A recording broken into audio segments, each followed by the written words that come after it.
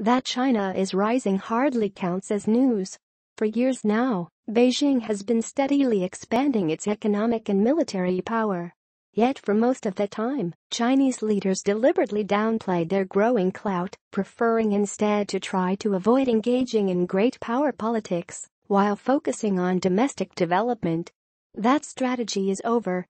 When visiting Beijing this week in the wake of President Trump's visit and the 19th Chinese Communist Party Congress, I encountered a country with a sense of confidence and pride, swagger even. China is no longer rising. It has arrived. President Xi Jinping has made clear